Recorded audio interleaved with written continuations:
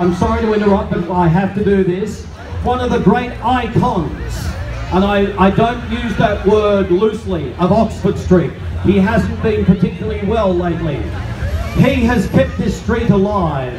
He is an absolute darling of a man, an icon, and I would like him to come up onto the stage. I would like you to give Polly Petrie a massive round of applause.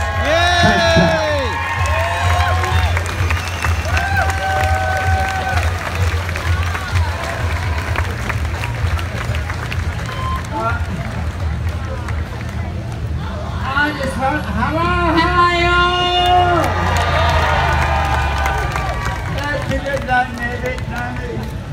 I started in Oxford Street 45 years ago at Capriccio's. It was the I you how. It was all the bars. I was a male dancer. I um today I feel very emotional because I went through hard times. But I was a celebrity, so it's all fabulous. We had mega stars come to Capriccios.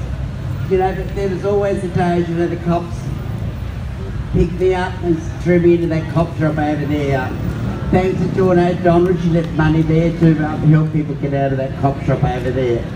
But today, I um, I went to Capriccios, I went to uh, uh, the Albury Hotel. I went to Venus Room. I went everywhere in Oxford Street. And today, I feel I went through the hard times. Uh, but today, I feel the youth of today is free to live their life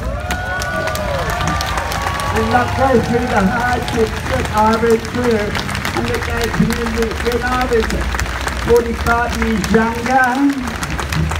And it's just a celebration.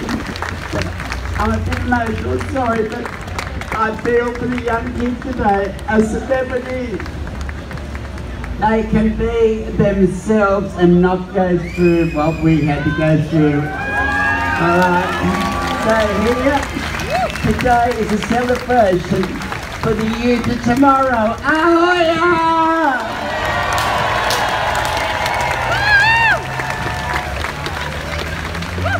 Thanks, Polly. Go and be with your friends. We just love you so much.